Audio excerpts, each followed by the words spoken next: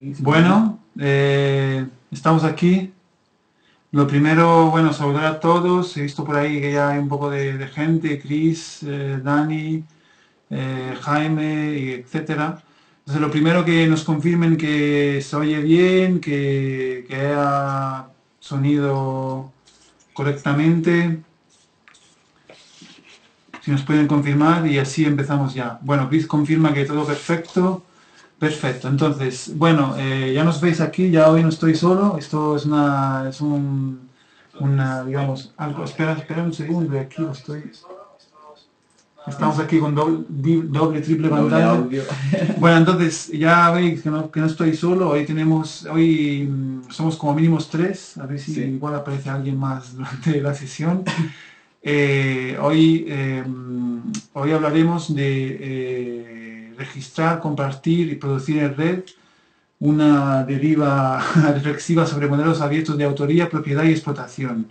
Ya eh, Alba y Jorge, que nos acompañan hoy, nos van a comentar de qué, eh, de qué va la sesión y hasta dónde querrán llegar y dónde queremos, queremos llegar. Entonces yo, eh, primero, simplemente hacer una pequeña introducción. Esto es, porque hemos empezado aquí a toda velocidad, pero esto es Commons, muchos de vosotros ya lo saben, eh, sesiones semanales sobre eh, Procomún, Cultura Libre y Open Government. Y eh, todos los miércoles a las 7 y media en thincommons.org tenemos una sesión en directo con, el chat y con posibilidad de participar, etc.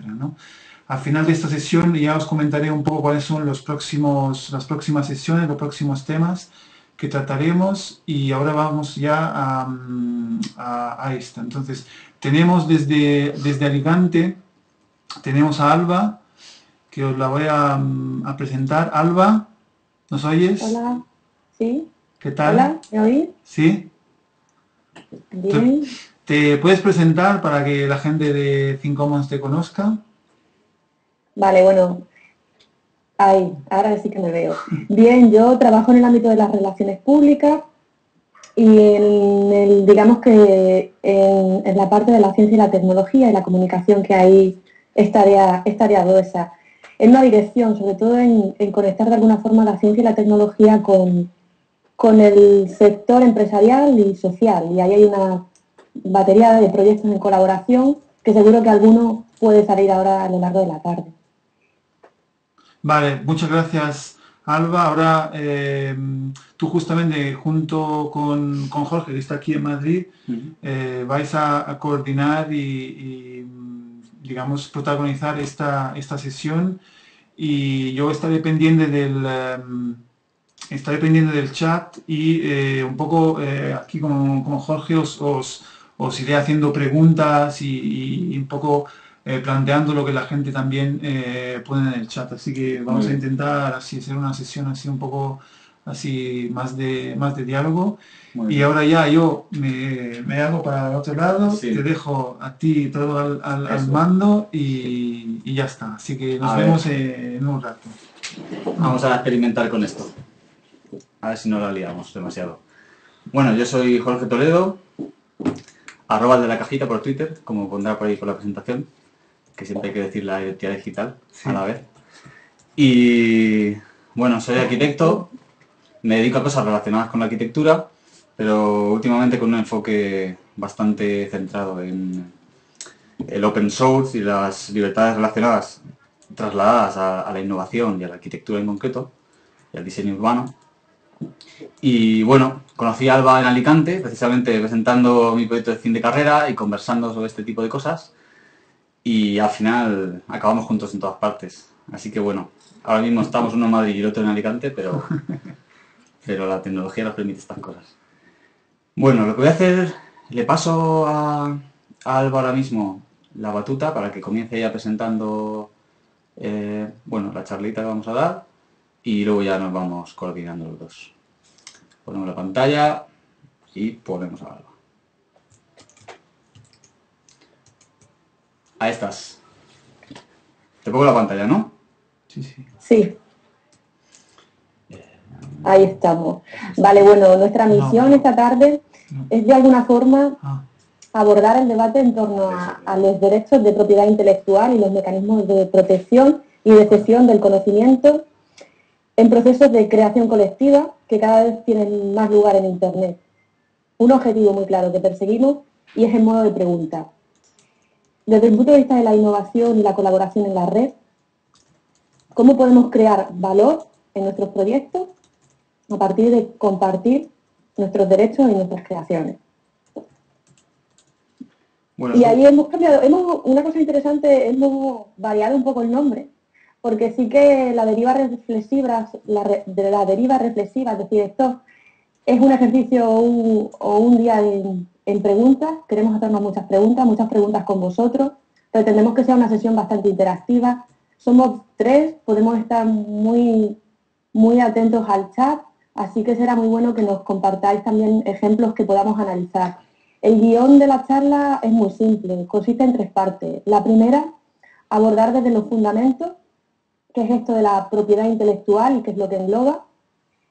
Después, pasar a analizar a través de casos, enfocándonos en, el tema de los, de los, procesos de creación, qué puede pasar si abrimos, si cerramos, y después más preguntas, o sea, para construir ese modelo, ese modelo de propiedad intelectual compatible con la red. Muy bien, te paso para adelante.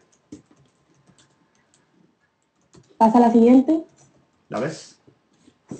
No todavía, pero bueno, como bien han dicho, eh, esta charla es un primer paso o una actividad de Jorge y yo en una investigación colaborativa en el marco del Máster Duo que estamos haciendo aquí en Alicante, que no es más que una experiencia de aprendizaje en red que deciden poner en marcha unos emprendedores para, uno, investigar en aquello en lo que trabajan y dos, buscar puntos de, de colaboración o experimentar en qué pueden colaborar realmente en proyectos para ponerlos en marcha. Y nuestra asignatura común está bajo el hashtag de OSRAI y la conversación por Twitter la podemos llevar a través de ese hashtag. Siguiente. Perfecto. Vamos allá. Hay un poquito de lag, pero es normal. Siga un poco lento, pero ya lo veo. Bueno, ahora Alba os va, a meter un poco de contexto, de conceptos básicos que igual son se atragantan, porque a nosotros se nos atragantaron, ya os lo digo así, pero... Pero hemos, sido, capaces, hemos sido capaces de sintetizarlo en, breves diapositivas y os, os las cuento. Lo primero, fundamento, o sea, ¿de qué estamos hablando? Cuando hablamos realmente de propiedad intelectual, sin ánimo de ser exhaustivo y con la, con la intención sobre todo de, de restar confusión a esto, eh, cuando hablamos de, propiedad intelectual, lo primero, son aquellos derechos que se confieren a las personas por el mero hecho de haber creado la obra. Y hay dos categorías, los derechos de autor y la propiedad, y la propiedad industrial. Esas dos categorías es lo que engloba todo bajo el marco de la propiedad intelectual. ¿Qué derechos confieren cada una de las categorías? Los derechos de autor son propiedad de, de la persona que crea la obra por el mero hecho de haberla creado. No necesita un registro, es decir, es innato. Y te atribuye tres derechos fundamentalmente. Los morales, que recogen eh, la parte de atribución, de respeto a la integridad y de divulgación pública que tú quieras decidir sobre tu obra. La cuestión de reproducción, cómo se autoriza, y la cuestión de explotación. Y por otro lado están, lo que decíamos, la categoría de la propiedad intelectual, de la propiedad industrial. Disculpad que mezclemos estos términos, pero claro, propiedad intelectual industrial dentro de intelectual. Bien, ¿qué confiere? Derecho de exclusividad sobre el uso y la explotación de la creación de la obra que has creado. Muy importante, cuestiones en común de esos derechos de autor y la propiedad industrial. Está o el objeto lo constituye los bienes inmateriales. Eso es fundamental, es decir, podemos estar hablando de la materialización de la, de la idea, nunca de, ideas, de conceptos, de metodología. Eso no se puede patentar ni registrar. Y luego estamos hablando también de que conceden un derecho de exclusividad, pero un derecho de exclusividad que tiene ciertos matices, que son las limitaciones. La primera en tiempo y, la segunda en limitaciones propias sobre el uso de acuerdo a distintos tipos de instrumentos. Habiendo hablado de las categorías y los derechos que engloban, Siguiente parte fundamental, qué instrumentos, tanto de protección del conocimiento como de cesión corresponden a una categoría y a otra. Derechos de autor, copyright fundamental y sobre ese copyright admitiendo una serie de libertades de cara al usuario o las libertades que el autor concede al usuario, encontramos la siguiente columna. Copyleft, licencias Creative Commons y, una serie de, licencias que están en ese ámbito, pero las modalidades son múltiples. Propiedad industrial, ya sí que estamos hablando de registros, de registros concretos que se tienen que gestionar en los organismos competentes. Y ahí el listado también, las patentes, modelos de utilidad, las marcas, los diferentes diseños industriales que se pueden, que se pueden registrar y cómo pasamos al uso, cómo pasamos a autorizar la, eh, la utilización o la explotación de eso, acceder de alguna manera en los acuerdos de licencia. Y si quieres, seguimos. Vale, yo aquí recalcaría eh, esta comparación que estamos haciendo porque la mayoría de licencias conocidas que nos traemos del software libre, básicamente, y que las adaptamos luego a otros proyectos, están basadas en el copyright. En como decíamos, en un, instrumento de protección que está basado en, los derechos de autor. Y no todo lo que hacemos eh, está basado en esos derechos de autor. Hay cosas que, caen en el campo de la propiedad industrial y entonces tendremos que saber que nos estamos basando en otro, en otro contexto legal, por así decirlo. Bueno, te paso para adelante. ¿Lo ves? Sí. Muy bien, toda tuya. También una, una cuestión importante en la, en la, transparencia anterior es el tema del reconocimiento legal, o sea, copyright ah, y propiedad industrial poseen ese, ese reconocimiento legal que se traduce en una serie de registros. En el caso de las licencias abiertas, no y ese es un tema que luego debatiremos y, analizaremos. Bien, eso que os contábamos de los fundamentos, cómo se traduce en implicaciones en un modelo de negocio. Para hablar de modelo de negocio queremos definirlo en primer lugar, porque también en este tema pueden darse muchas, muchas confusiones. Con modelo de negocio nosotros lo hemos planteado para analizar este tema como es el conjunto de lecciones de la organización y sus consecuencias, es decir, cómo la organización decide organizar, valga la redundancia, recursos y procesos para el desarrollo de su actividad profesional y la consecución de su objetivo. En este sentido también nos traemos del cuadro anterior tres parámetros de análisis clave. El tema de la autoría, el tema de la propiedad y el tema de la explotación. Bien, entonces, en este punto, y tocando sobre todo la, a partir o los resultados que se obtienen de, de esa propiedad industrial que tú has decidido, o esa propiedad intelectual que tú has decidido configurar, está la creación de valor. Y cuando se habla de la creación de valor, uno debe, debe sobre todo en estos temas de Internet o cuando ya, o cuando ya actúan mm, o entran en juego, por ejemplo, la figura del emprendedor social, ¿no? ¿Qué tipo de, de valor quieres crear y para qué? Y a partir de ahí, de esa reflexión, se configura muchísimo, muchísimo el mapa de la propiedad intelectual que confieres a tu proyecto.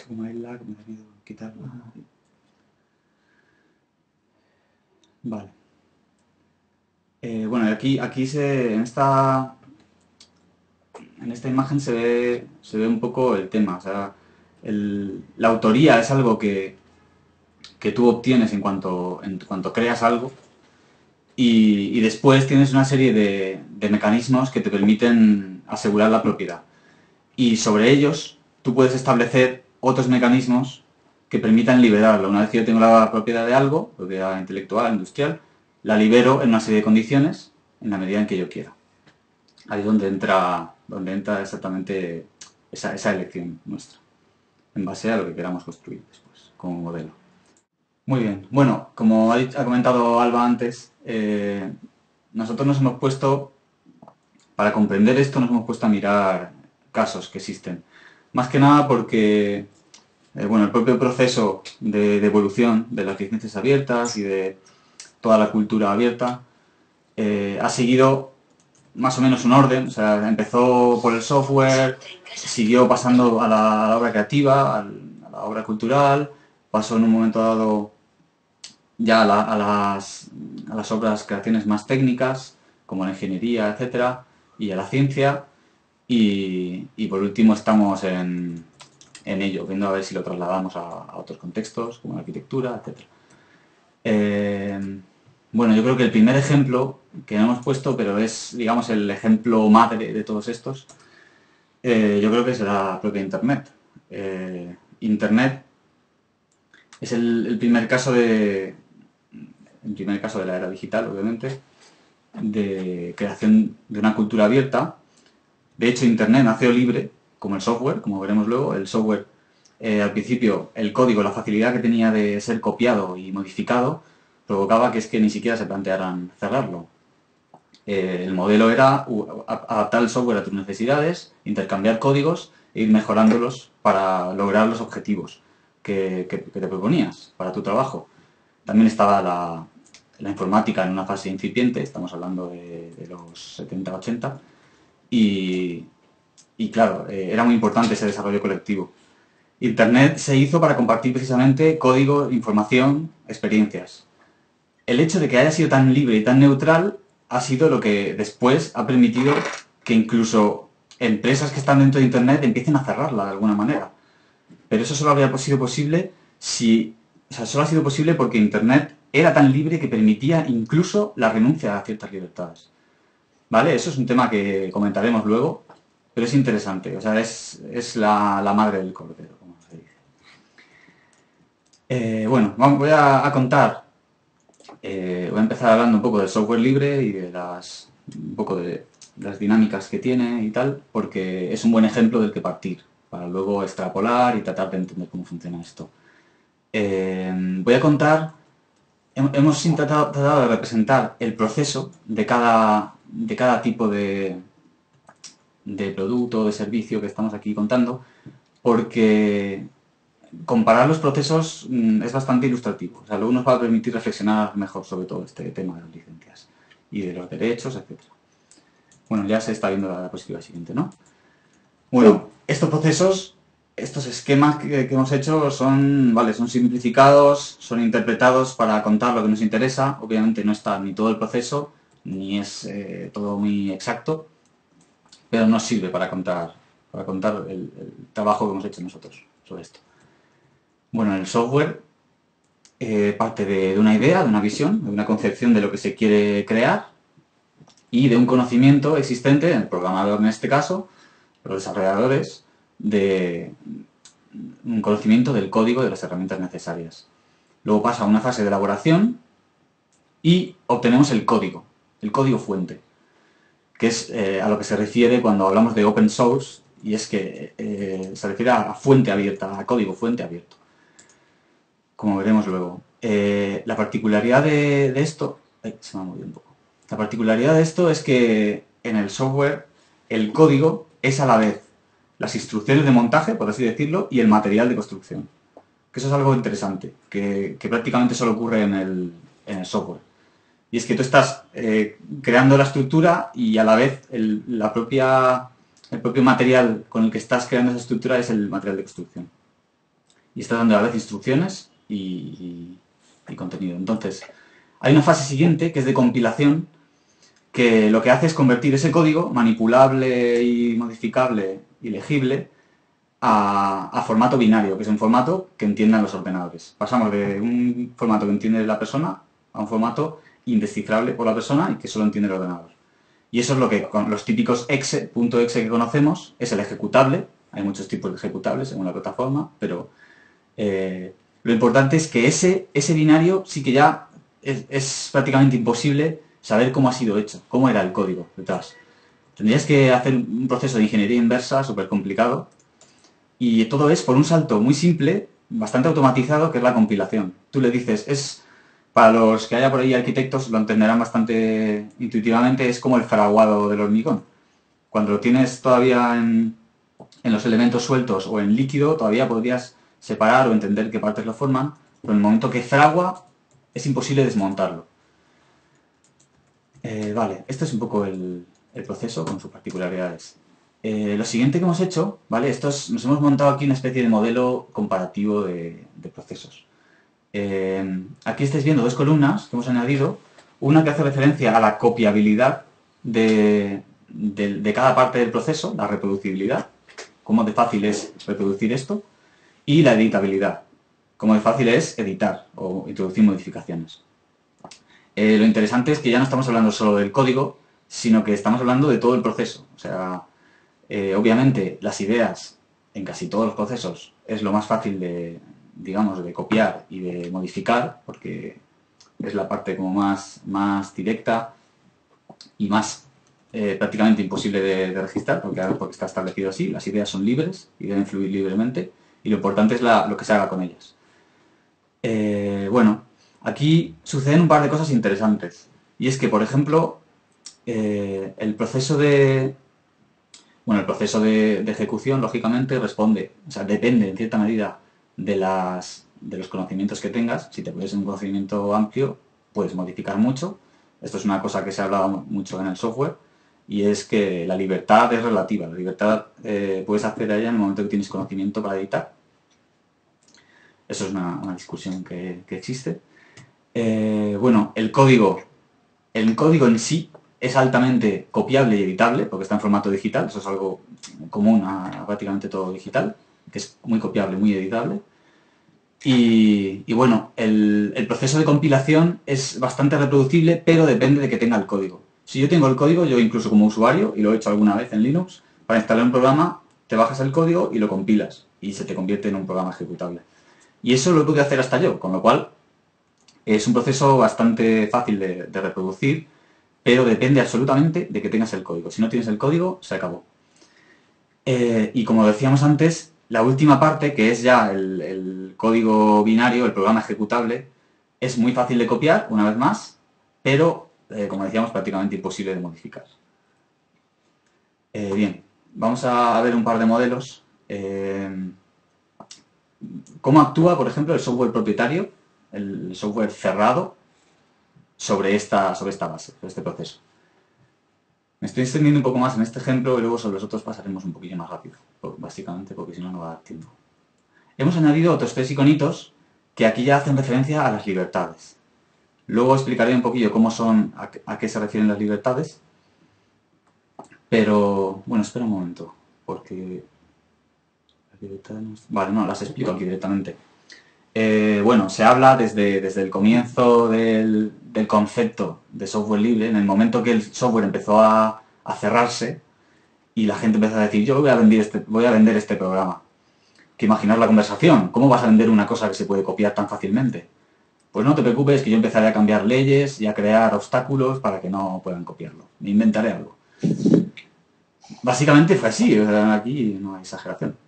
Eh, Bien, en ese momento es cuando saltaron unos cuantos y dijeron, eh, cuidado, pues vamos a empezar a reivindicar la libertad del software. Y básicamente eh, se establecieron, se, se propusieron tres libertades que están de base en todas las licencias abiertas que se han hecho después, que son la libertad de uso, que tú puedes usarlo en cualquier sitio, cualquier momento, para lo que tú quieras, cuantas veces quieras. La libertad de, de estudiar el código y modificarlo para adaptarlo a tus usos o para mejorar algo y contribuir a la comunidad con ello. Y la libertad de distribuir, tanto el programa original como las modificaciones que tú hayas hecho, etc. Eh, esos están representados aquí con estos tres iconos, uno como de, uso, operativo, otro de, modificación y el tercero de, copia. ¿Vale? Estos de la izquierda son, son iguales, pero estos hacen referencia a las propiedades en sí del proceso y esto es a las libertades que se aplican sobre ellas. Vale, eh, bueno, como veis he cogido un ejemplo de software cerrado eh, mítico que, conocemos, que es una empresa que empieza por A, que es una fruta mordida. Y que estamos usando ahora mismo. Y que no pronuncio porque, me da...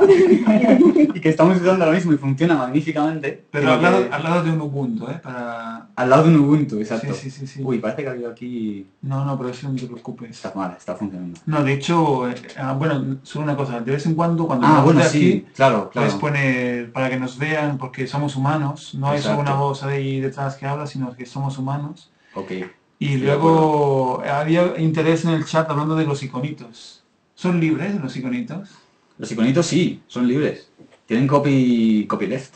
sea, Venga. Creative Commons. En esta presentación veréis que no están puestas las, las referencias, las citas de dónde se han sacado las cosas, básicamente por tiempo y porque hemos dicho, bueno, para presentarlo no es prioritario, cuando la colguemos meteremos, eh, como las buenas prácticas indican, que sé que ibais a estar a, a la que salta con eso. Y los iconitos son libres y algunos los he hecho yo, o sea que habrá que liberarlos. Ya veré con qué licencia, cuando acabe esto. Y hay que documentar ¿Eh? también. Cuando se libera, se documenta, ¿no? Cuando se libera, se, Bueno, ya lo hablaremos después. según, sí. según el... Sí. exacto, ese es un buen tema, ¿eh? anotando ahí al lado. Sí. Eh, bueno, eh, básicamente un caso curioso. Al principio he pensado, wow, Windows versus Linux, y es una comparación brutal, pero era como demasiado fácil.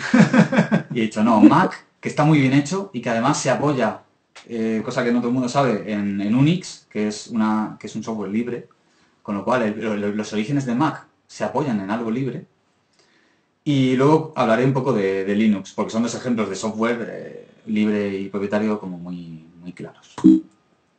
Eh, bueno, a ver. Aquí tengo que hacer aquí. Ya pasamos a la siguiente.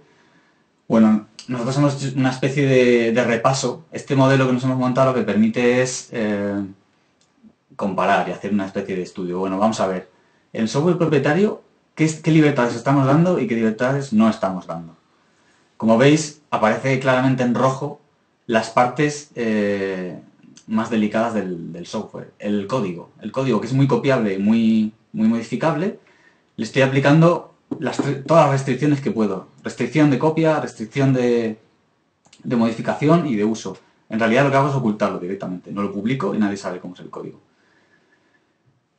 Eso es el, caso arquetípico de, de proyecto cerrado. Obviamente siempre hay matices. Hay, gente que, hay partes que se liberan, partes que no, etc. Eh, en, el, usuario, en el programa final, sucede más o menos lo mismo. Como también es muy fácilmente copiable, ahí lo que restrinjo es eh, precisamente esa copiabilidad. Tú no puedes distribuirlo como quieras, obviamente no puedes modificarlo porque es blindado prácticamente, es binario, y te voy a dejar usarlo en las condiciones que yo te diga. Que por eso tenemos un puntito ahí ámbar, que quiere decir, bueno, aquí estamos limitando parcialmente. Te voy a dejar tantas licencias y tú lo usas en tantos ordenadores y ahí hay más o menos eh, cesión por parte del, de que lo fabrica. Bueno, el software libre, que tenemos ahí de fondo una distribución de Linux. Eh, podríamos hablar de lo mismo. Aquí mm, prácticamente a saco, luego podríamos discutir si hay cosas que están más cerradas o no. Pero en general, en, en muchos proyectos de, software libre están todas las, todas las partes abiertas. ¿Vale? Desde la idea original, que obviamente es libre, cualquiera puede copiarla y empezar un programa por su cuenta con la misma idea, hasta el conocimiento que se transmite de una manera totalmente abierta, con licencias abiertas, etcétera, están las wikis de los proyectos, toda la documentación necesaria para programar, si hace falta. Eh, puedes tú reproducir todo el, el proceso, puedes coger el código, modificarlo, puedes compilar, porque tienes las herramientas también libres, y hacerlo. Aquí a la derecha, el gráfico que veis es el efecto que eso produce. Mientras que en Mac hay un sistema operativo que va cambiando de versiones. Esto que veis aquí es el árbol eh, genealógico de, los, de las versiones de Linux que ha habido desde que empezaron. Hay como varias que, pues, si os fijáis, son como distribuciones madre. Y de ahí empiezan a haber versiones y versiones y versiones. Uno le añade cosas, otro se la quita, otro las, les pone otro nombre y les cambia el fondo, otro le añade no sé qué. Hay eh, muchísima diversidad, que luego podemos comentar que eso a Sí. veces es un problema y una ventaja Sí. que eso, eso tiene, tiene tela. Em, vale. ¿De aquí quieres comentar algo, Alba? O... Eh, no, prácticamente Aquí, seguimos para adelante. pasamos a la obra creativa? Vale. Vamos allá. Bueno, aquí como veis cambia, cambia un poco el proceso. Eh, ¿Quieres explicarlo tú o empiezo explicándolo yo, Alba? Y- Empieza, sigue, sigue tú, Sigo sí, yo. así, Vale, sí, bien. sigue tú. Vale, sigo yo con esto. Eh, bueno, ¿se ve bien así en pequeño? Sí, sí, si quieres pasar. De vez en cuando lo puedo poner, lo puedo sí, poner para en- que- aquí por lo menos para que se vea el... Simplemente recordarle, ¿no? De vez en cuando que somos Sí. humanos con la carita que aparece ahí y luego... Somos humanos. En ningún momento nos va a sustituir un bot ni nada parecido. Que Y que, eso, y que el chat también es humano. Sí, y yo soy humano. la bien. Doménico. La cuenta Sí, se es llama muy Humano Humano, o sea que es cómo va la inevitable. No, de hecho, Porque eh, nosotros llevamos unos días de, de viaje reflexivo importante. Vale, cambia la pantalla, ¿no? Bueno, sí, sí, aquí no te preocupes. ok.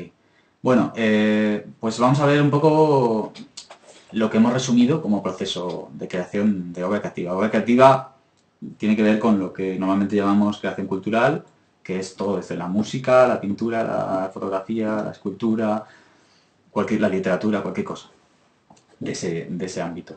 Es, es muy genérico, entonces hacer un proceso mm, conjunto para todas ellas era eh, poco menos que imposible. Pero bueno, simplificando mucho, veis que tenemos cosas en común, tenemos como idea, una idea, una concepción, una visión original, un conocimiento que tenemos, un know-how que tenemos nosotros eh, previo, o que adquirimos para el proyecto en concreto, y, luego una parte de una parte de elaboración, de preparación, en la que ten- obtenemos una fuente editable, como en crudo. Quiero decir, si estás haciendo música, estás mezclando un disco, hay un momento en el que tienes las pistas por separado y es más modificable que, que a posteriori, cuando tengas el disco producido. Por eso hemos querido diferenciar esas dos fases. Porque hay, hay otro proceso de elaboración, que es el que he llamado aquí de mezclado, que es ligeramente distinto. Por ejemplo, hablemos de, hablando de la música. Eh, Un primer proceso de elaboración podría ser la composición y nosotros tenemos las partituras como fuente editable, digamos. Yo puedo cambiar las partituras y cambiar la música. Eh, el mezclado, en este caso, puede ser desde grabar pistas y, hacer un disco con ellas, hasta tocar en directo. Tocar en directo lo que estoy haciendo realmente es, es convertir en una obra conjunta, indivisible, todas las, el código, que eran las partituras y que eran la gente por separado, juntarlas. ¿Vale? Aquí ya vemos que no es tan fácil trasladar del código de software libre al código en otras cosas, que es el código en la obra creativa. Bueno, eh, yo proponía un poco esta, esta distinción aquí. Estuvimos comentando con Alba y, y nos parecía que podía funcionar. Eh, bueno, al final el producto envasado es el, digamos, es el que está en el formato en el que ya se puede difundir. Ya sea un CD, ya sea un vídeo subido, montado y tal, que es un vídeo, que tú no puedes editar ya nada. Bien, vamos a lo mismo. Vemos la, reproducibilidad y la... Y la editabilidad. Podríamos meternos aquí a comparar, ¿vale? Estamos, esto es un modelo como que hemos hecho para comparar a nosotros, que la verdad es que nos ha servido bastante. No me voy a meter ahora a explicar cada parte, pero voy a contar lo más, lo más significativo. Eh, ¿Qué se me pasa esto? Perdón. Estos ratones de Mac son sensibles de la leche. Vale. eh, bueno, aquí vemos una cosa significativa en esto. Hay partes que son como más fáciles de copiar o otras que otras, pero en la parte de, de mezcla o de que es bastante, que a veces es performance en realidad, por el caso de la música o del teatro, que tú no estás, no estás mezclando contenido digital, sino que estás realmente mezclándola en directo sobre la marcha, la obra, produciéndola, en base a los elementos, el guion, etcétera, que ya tenías anteriormente.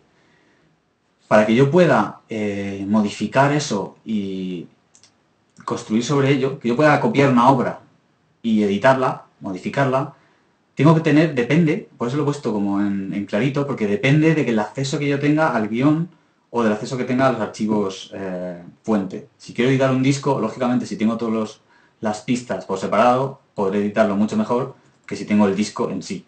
Eh, eso va a ser eh, un trabajo de, otra vez de ingeniería inversa. Esto se parece un poco al compilado del software. En el momento que pasamos al formato de distribución, se convierte todo mucho más difícil. No digo que no se pueda, porque obviamente una imagen acabada siempre la puedes remezclar, añadiéndola, editándola, añadiéndole capas. Pero bueno, es una cosa significativa. Bueno, eh, aquí una vez más podríamos hablar de, de modelos restricti- restrictivos. Eh, como veis aquí la comparativa ya no está hecha, básicamente porque esto es tan como trabajo en marcha, como parte de nuestra investigación, que hay partes que no están todavía comparadas y hemos preferido dejarlas así a inventárnoslas. Eh, esto es también una invitación a que vosotros mismos lo penséis. O sea, modelos restrictivos, podemos estar hablando de, desde cosas parciales como la protección anticopia hasta todo el modelo de derechos de autor, de cánones, etcétera, que se construye sobre sobre la sobre estas, eh, esta obra creativa. Y Jorge, metiéndote al, detalle de esto, de este tipo de análisis comparativo, ¿ves la complejidad real de, los entramados? O sea, ya no son entramados financieros, son entramados de propiedad intelectual que hacen muchos tipos de, estos, o sea, de estos proyectos, sobre todo culturales o, del tema que veamos. Sí. ¿No? La, parte de la combinación me refiero. Y estos modelos restrictivos sí que o sea, lo que predominan o sobre lo que se sustentan es básicamente eh, la, protección en, muchas fases del proceso de los derechos de autor. Ponme la imagen. ¿Eh? Te pongo la imagen. Ponme la imagen que si no... Allá vamos. Así la veo. Ahí. Vale, con este, con esta, bueno, con esta base, con este modelo se puede, en realidad se puede jugar mucho. O sea, puedes empezar a pensar, bueno, eh, en qué medida la industria discográfica eh, aplica las libertades en la fase de... Mm, en la última fase, digamos, en el producto, por ejemplo, en el producto ya envasado, entre comillas. Y podríamos empezar a poner, bueno, libertad de modificación, eh, cero. Libertad de, de, uso restringida, una vez más. Ya estamos con temas de, de derechos, de licencias, te dejo esta, te descargas esta música, pero la usas solo para una parte, el disco no puedes copiarlo, solo para copia de seguridad, empiezas a meterte en, limitaciones. Y lo mismo, la copia, la, la reproducción. Y también, por ejemplo, cuando los modelos son restrictivos, hacen el, el, foco, digamos, lo ponen, el foco de la protección sobre todo del conocimiento, en el acceso al producto. Y muchas veces, y en el caso de, de la utilización, queda cerrada a partir de ahí. Y en los modelos abiertos, digamos que el foco se pondría en el uso y el uso en hacerlo expandido de alguna manera en la red y de ahí ganar o, traer un retorno del valor que decíamos en el principio. Vamos a ver. Bueno, eh, en, este ámbito, igualmente, igual que en el anterior, en el software libre, hay modelos abiertos también. Modelos abiertos que, bueno, mm, conoceréis todos seguramente por Creative Commons, que ha contribuido muchísimo a, popularizarlos y a explicarlos, en cierta medida. Y, bueno, por ejemplo, aquí, eh, aquí veis una, pequeña captura de, de Yamendo, que es una página que tiene música eh, de código abierto, música open source. Música, en este caso, con Creative Commons, porque, como decíamos antes, eh, es muy fácil decir eh, open source y aplicarlo a cualquier cosa, pero ¿qué es el código de la música? Vamos a dejarlo en música con licencias abiertas. Bueno, aquí los, en general está orientada, en este caso, a distribución final. Digamos que tú subes ya música, música creada, producida, convertida en, formatos reproducibles, en MP3, en, el que sea. y tú puedes descargarla puedes hacer, puedes remezclarla y además tienes acceso directo al autor, con lo cual puedes decirle, oye, quiero, quiero ir más allá, me, me manda los archivos fuente y le meto una pista más y hacemos esto. Porque el modelo en este caso está construido sobre el producto final, no sobre el código. Eh, bueno, pero igual, igual que hablamos de eso, podríamos hablar de otros proyectos que, que por ejemplo, hacen música a partir de, pistas enviadas por la gente y las mezclan y componen algo. Entonces la parte abierta es, son los componentes de, la música.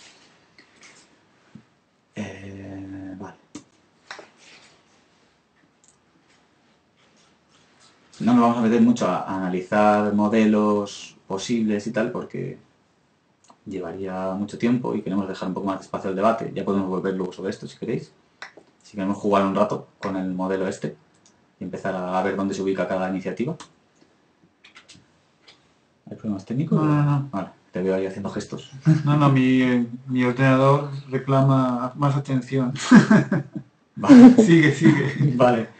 Bueno, esta parte se la voy a dejar a Alba. Aquí hablamos de... Me cuesta hablar de fiestas en el chat y tal, y el ah, ordenador... Yo no, yo no estoy perdiendo el chat, no sé de qué Tú sigue, tú sigue. Yo sigo la mía. El, el, chat está muy, muy animado. Siempre está... Viene la parte de la ciencia ¿Cómo se traduce todo esto a la ciencia? También análisis de procesos y de, y de recursos.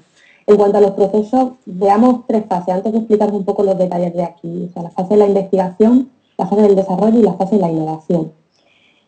Eh, entonces se está experimentando mucho en ciencia de cara a obtener unos resultados relevantes en el avance del conocimiento científico, en la primera parte, la investigación, sobre todo de proyectos globales que utilizan la red para unir científicos, estén donde estén, siendo relevante su talento y, dando conjuntamente alternativas opciones a, soluciones a problemas de la ciencia. Ponme la pantalla. Te pongo la pantalla. De la presentación, sí. Sí, sí. Necesitamos que se te vea, Alba, por eso que de vez en cuando ponemos... Es, pequeño. Venga, que está muy ¿Se puede? Toda tuya. Bien, ¿cuándo, inicia, ¿cuándo iniciamos esa fase o ese proceso de investigación en ciencia? Pues cuando pretendemos solucionar un problema concreto y para ello formulamos hipótesis. Siguiente parte del proceso es el conocimiento, o siguiente parte con los recursos que intervienen en ese proceso, son los conocimientos que tenemos en conjunto desde los investigadores para dar respuesta a ese problema. Siguiendo las fases, pasamos a la, parte de, experimentar con el objetivo de ser capaces de, afirmar si nuestras hipótesis son ciertas o nuestras hipótesis son, falsas y que siga ese proceso de la ciencia. ¿no? En el caso de que sean ciertas y que estén validadas, pasamos a la generación de, informes y a dar un paso más en lo que os comentaba antes de, de las tres fases importantes, al desarrollo, a buscar una aplicación a esos resultados de investigación de cara ya mirando al mercado, no solo si se es una empresa, sino también eh, si, se, actúa desde parte de vista de organismos, de organizaciones, es decir, aquí también otro, otro conglomerado interesante. Entonces, describiendo ese proceso y viendo cómo participan o se articulan los recursos, hemos pasado igual a analizar distintos casos sobre todo poniendo el acento en los abiertos, porque sabemos que los cerrados están muy basados en el modelo de, el modelo de patentes, y a partir de ahí la imaginación y los, acuerdos de licencia de alguna manera. Vale, este... sí, ves, la parte esta del, del proceso sí que lo explico yo un poco brevemente, por qué he puesto estas cosas en, blanco. Eh, bueno, básicamente es porque el, el desarrollo el desarrollo posterior y la, digamos, la, modificación de las hipótesis finales, si yo ante, un, ante una solución adoptada decido que no funciona y que tengo que modificarla, estas flechas que veis hacia atrás, lo que están señalando es que mi la, la, libertad que yo tengo para hacer eso, en realidad depende básicamente de la capacidad que tenga para volver hacia atrás a recomenzar el proceso. Veréis que, bueno, que algunos, en el caso de, de la validación, si yo quiero, si yo pienso que no está no ha sido bien hecha o que quiero eh, revisarlo de otra manera, requiere, está apoyado en el conocimiento, en un conocimiento previo. Si yo no tuviera acceso a ese conocimiento, obviamente no podría influir para nada en, la parte de validación. Si estamos hablando de, una aplicación final de, eso, de esa hipótesis que se ha desarrollado, que se ha convertido en, en algo aplicable al mercado, a los procesos, a lo que sea, si yo quiero modificar eso, mm, tengo que volver más aún al origen. O sea, tengo que volver a replantear otra hipótesis y, empezar de nuevo. O sea, esto es una particularidad que tiene, que tiene este proceso. Y te paso por adelante. Eh, modelos restrictivos. Eh, puedes comentar algunos si quieres. Y si no, pasamos a modelos abiertos. Pasaríamos directamente a los modelos abiertos, porque lo que, lo que hemos dicho antes, o sea, modelos, modelos restrictivos para la orden del día están basados en el tema de las patentes, es decir, proteger al máximo esos resultados de la investigación que, como decía Jorge, sí que han sido verificados y tenemos nuestra hipótesis certera, de alguna manera. Entonces ahí ya entra todo el engranado de protección del conocimiento, que lo guardaremos. Y no solo protección, para no solo protección. Para luego hacer, hacer los, mecanismos de imaginación, entre comillas, en los acuerdos de licencia. Exacto. Y no, quería decir que no solo se trata de protección mediante patentes de los resultados, sino que todo el proceso, en realidad, se opaca. O sea, mientras estás haciendo una investigación, tú te callas, te callas como loco para que no te gane el, laboratorio competidor o la universidad de turno. Eh, por, tener ahí una ventaja competitiva. Se está aplicando los mismos conceptos que se aplican al ámbito empresarial en, la ciencia, al fin y al cabo. O sea que cualquier parte del proceso se puede aplicar esos mismos conceptos de esas mismas libertades y en este caso vemos que muchas se restringen. Pasamos a modelos abiertos. Y también que esta, o sea, esta apertura de la ciencia que dice se está produciendo verdaderamente en los modelos abiertos de ciencia, que estamos hablando del avance del conocimiento científico en, lo más alto, ¿no? De alguna manera. O sea, cuando realmente las investigaciones conllevan cambios fundamentales en nuestra sociedad, dar respuesta a problemas sociales grandes que tenemos, vemos que sí que los modelos abiertos de colaboración en ciencia son posibles, se producen y, es interesante analizarlo. Incluso cómo se, cómo se comparte de alguna manera ese pastel de, de la protección del conocimiento. ¿Tenemos diapositiva? Sí, te la he puesto. la, veo, la veo si la pone así, no, no ando con dos pantallas. Vale, genial. Bien, nosotros aquí, por ejemplo, hemos analizado mm, mm, varios modelos abiertos, sobre todo que son muy distintos en su, en su enfoque o en lo que pretenden. Unos que permiten, que permiten o que Internet posibilita que a través de la colaboración, tanto de investigadores como de usuarios, de ciudadanos de alguna manera, colaboren con sus ordenadores, conectándolos en red y ganando en capacidad de cálculo. Y si esa capacidad de cálculo permite una mejor investigación, como después también se diseñan los proyectos de investigación y se introduce el ciudadano. Entonces es muy interesante eso, esos modelos ya, digamos, de explotación de la cadena. Vale, pues una cosilla. Que eh, como esto no está, no lo hemos llegado como a representar, podéis ver, estoy marcando con el puntero un poco las, partes a las que está afectando ese ejemplo en concreto. En ese ejemplo estamos hablando de hacer abierto el proceso, el proceso de investigación, el proceso de, testeo, de, elaboración de, la, futura hipótesis. Y en otros modelos podemos estar hablando de liberar el resultado. ¿Vale? O sea que realmente por eso hemos, hemos hecho hincapié en los procesos, porque se pueden liberar partes muy distintas de los procesos.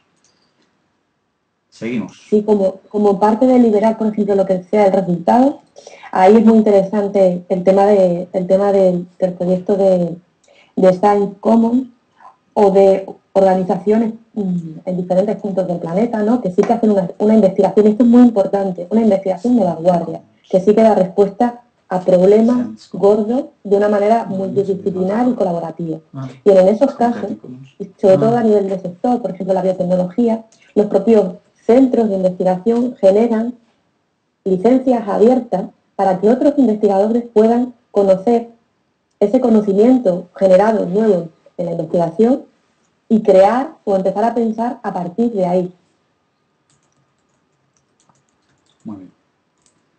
Eso, por ejemplo, también lo vemos en el proyecto del genoma humano, es decir, proyectos de, de una envergadura impresionante. Que sí que, como ven, lo importante pasa a ser realmente la, evolución de la sociedad y por tanto los modelos abiertos suben, triunfan. Exacto. Muy bien, pasamos al último ejemplo de obra técnica. Sí. Muy bien. Vamos a ver otro, un último proceso de los que queríamos comparar. Vale, aquí eh, estamos haciendo un recorrido por ejemplos, como decía antes, con la idea de partiendo de un ámbito como es el software en el que están muy claras las licencias abiertas y las formas abiertas de trabajar, eh, tratar de llegar a otros ámbitos donde está menos claro y empezar a imaginar cómo se puede aplicar. Eh, bueno, el caso que tenemos ahora es la obra técnica, antes teníamos la obra creativa, la obra cultural, ahora tenemos la, técnica, que bueno, estaría comprendiendo la, temas de diseño industrial, de ingeniería, de hardware, porque otra cosa que tampoco se puede hacer directamente es trasladar eh, conceptos del software al hardware. El hardware es distinto, responde a un, proceso distinto. Eh, como veis, aquí aparecen nuevos elementos. Tenemos elementos comunes, como siempre, la idea, la visión, el conocimiento, una primera elaboración, una fase de diseño y de definición.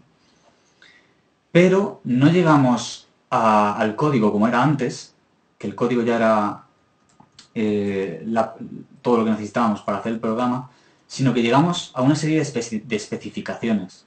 Llegamos a lo que en arquitectura es el proyecto y lo que en otros casos es, pues, eh, ya puede ser una especificación digital, un, programa de unas dimensiones en un programa de modelado 3D que se pasan a la máquina de, de producción, de corte o de lo que sea, o pueden ser los planos, los planos de la, que especifican cómo se tiene que construir. Pero aparece un nuevo conocimiento que es distinto del anterior y que es el conocimiento de ejecución, de trasladar esas especificaciones a, lo material. Eh, el, ingeniero que ha sabido diseñar un chip probablemente no tenga ni idea de... O sea, sería incapaz de producirlos con sus propias manos. Entonces estamos hablando de autoconocimiento. Y además interviene eh, el material. El material, eh, material físico con el que se va a producir el, objeto de diseño. Que antes, eh, como veíamos en el software, no existía. El material y las especificaciones eran lo mismo, el código. Y con eso se pasaba el programa con un, con un, con un sistema de proceso de compilación muy directo. Aquí vemos que se está, hay un paso intermedio más complejo. Tenemos un salto. Y hay un segundo proceso de elaboración, que es ya la construcción, que acaba en el producto construido, que es un objeto en este caso. ¿Vale? O sea, vemos que ya hay varias diferencias que nos hacen pensar, al menos intuitivamente, que es un poco por lo que yo personalmente me metí en esto, que no es tan fácil trasladar una licencia de, que se ha usado siempre en obra, en obra creativa, como Creative Commons, o una licencia de software, trasladarla al hardware, tal cual, o trasladarla incluso al, a la ingeniería o la arquitectura. Pasamos para adelante. Bueno, aquí como vemos, eh, analizando una vez más la capacidad de ser reproducido y de ser editado de cada parte del proceso, eh, hay, ciertas particularidades. Bueno, como es razonable, el proceso de elaboración del proyecto, de las especificaciones, depende, se apoya en el conocimiento que tú tengas, cuanto más conocimiento tengas, más, más accesible es para ti. Tienes una capacidad de modificarlo y copiarlo, reproducirlo totalmente. Pero al final de todo veis que, el gráfico está como, de nuevo, muy clarito y además con muy poca, muy poca potencia. Eh, esto es porque el, producto final, el objeto que tienes en tus manos, realmente eh, la modificación, la capacidad de modificación que tienes depende por un lado, como vemos en la flecha, de, la capacidad que tengas de saltar atrás y acceder al proyecto para que tú con ese proyecto puedas hacerte otro objeto igual. Entonces ya has hecho la copia. Pero la copia no es como en lo digital que haces, tengo el objeto final, lo copio, aparece otro objeto final. No, tengo que volver a rehacer el proceso para hacer otra, copia del objeto. Eh, y, algo parecido pasa con la, edición. Si yo cambio, quiero cambiar un objeto, eh, puedo aplicarle transformaciones eh, transformaciones mecánicas sobre el propio objeto y, hago, estaré haciendo una especie de hack con el que estaré logrando otros, otros resultados. Es lo que hace mucha gente con las cosas de Ikea, que las, las compra tal cual y luego las usa para otra cosa. Pues ya son modificaciones. Pero si quiero modificar eh, realmente el, producto en, su concepción, eh, tengo que tengo que volver atrás, tengo que tener acceso a los materiales, como se ve en otra flecha, y, acceso a las especificaciones.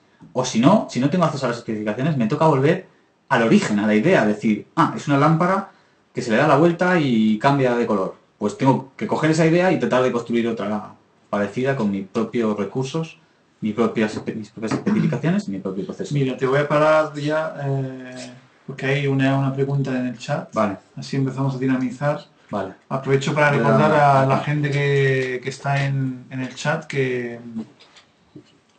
que estamos aquí para contestar las preguntas también. Bueno, eh, Alba quizás, que ha tenido un ojo más en, el chat, lo ha visto. La gente está encantada con la presentación. Les ha encantado un poco la manera de presentarlo. Y tenemos la primera pregunta. ¿Habéis analizado los procesos? ¿Cuál es el siguiente paso de la investigación? Eh, bien, eh, el, el siguiente paso, bueno, ahora podemos, luego os contaremos como preguntas abiertas que tenemos nosotros, que de alguna manera lo explican, o sea, dan una impresión de, de lo que pretendemos hacer después, pero para mí es tratar de, de extrapolar, de extrapolar lo que ya sabemos que funciona en el software, extrapolarlo a, a otros procesos.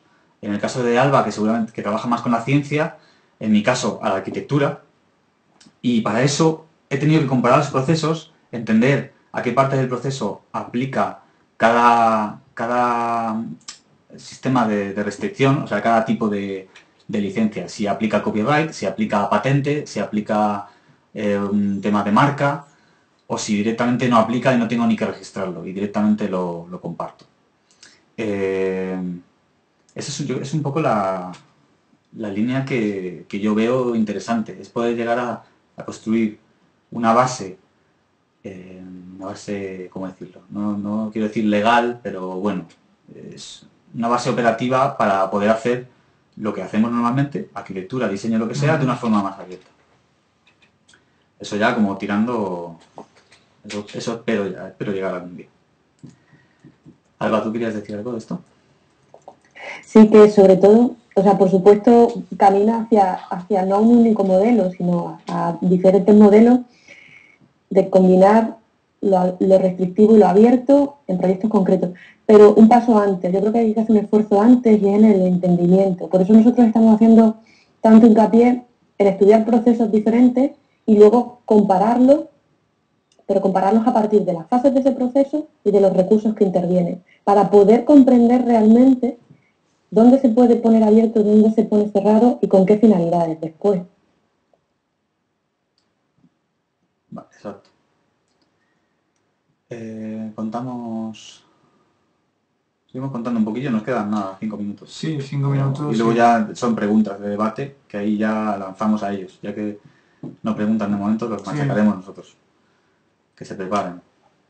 que se preparen porque esto eh, ha generado muchísimas preguntas. Nosotros, bueno, estos últimos días era como tratando de, de organizar la presentación, pero a la vez mm, metiendo ideas por todos lados y ha sido un, ha sido una aventura esto.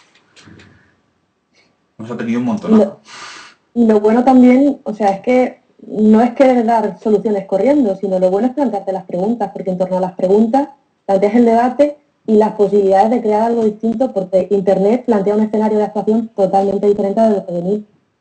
Sí. Y muchas veces pasamos a, a generar proyectos por- en Internet con licencias abiertas por inercia. Sí. De ahí la importancia de bajar a los detalles. Totalmente. O sea, con- y también muchas veces como con muy buenas intenciones, oh, sí, sí, entendemos la cultura libre de una forma muchas veces intuitiva o visceral, la entiendo, siento que es, eh, lo que hay- es el cambio que quiero ver en el mundo, pero creo que hay que hacerse una reflexión más profunda Sí. para hacerlo con Nada, tenemos otra pregunta así, súper práctica además. otra pregunta súper práctica. Sí, Vale. Eh, Calvario García pregunta, quiero montar una aplicación para móviles, ¿qué, qué me recomendáis? Eh, se- se refiere en términos de licencias. En términos de licencia. Aquí estamos en- también en plan de estrategia, entonces, Claro. Aquí lo, lo primero, y eso no lo estamos mencionando mucho, pero eh, esa, esa idea que tiene tiene que desarrollarla y tiene que desarrollarla en plataformas abiertas que sí que lo hay para ello. Lo que va a conseguir con eso es un- una mejora de, la- de su capacidad de innovación para ofrecer algo realmente que, que se diferencie en, en lo que hay. Y ya cuando está en ese detalle, está en ese, en ese desarrollo y de ahí la importancia de los procesos, es decir, quién interviene y cómo se reparte y con qué finalidades.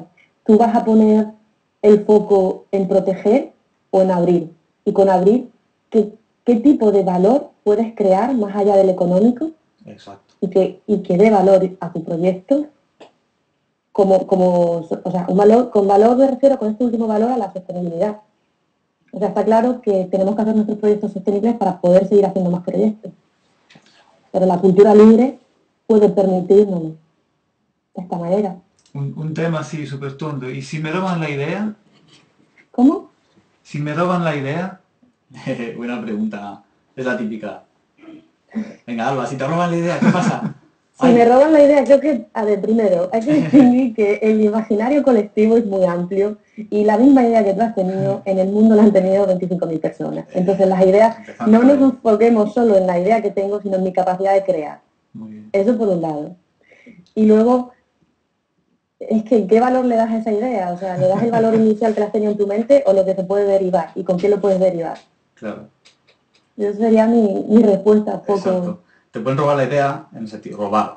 Pueden tener la misma idea que tú, pero seguramente la forma de lo que haces con ella es lo que va a cambiar. Esto, esto en el tema de la, de la, de la investigación y sobre todo enfocado al desarrollo tecnológico, es, muy divertido, ¿no? Porque yo tengo una idea única, la desarrollo en mi laboratorio aisladamente y luego resulta que cuando la presento me doy cuenta que hay 15 como yo ya, ya patentaron encima, ¿no? Exacto. O sea, esto hay que ponerlo muy en comida porque realmente es que las posibilidades son, son otras y, parten de un mundo abierto y colaborativo. Claro. Por ejemplo, eh, si tengo miedo de, que me roben la idea, a lo mejor no tiene, o sea, si cambio de enfoque totalmente y digo, voy a cogerme a todos los que han tenido la misma idea que yo y nos vamos a poner a, desarrollarla juntos. Voy a crear comunidad con gente que tiene las mismas inquietudes, que está tratando de trabajar con lo mismo y es que cambia, cambia todo. De, de entrada no te va a pasar lo que comentaba Alba, de que acabes de que acabes de pronto el proceso y digas, he inventado tal, y te diga, yo he llegado dos meses antes, te chinchas. y, y, aparte que el proceso se enriquece y, coge muchísima profundidad, o sea, lo que vayas, lo que puedes desarrollar tú en solitario y lo que pueden desarrollar 20 personas colaborando es que no tiene nada que ver, por supuesto.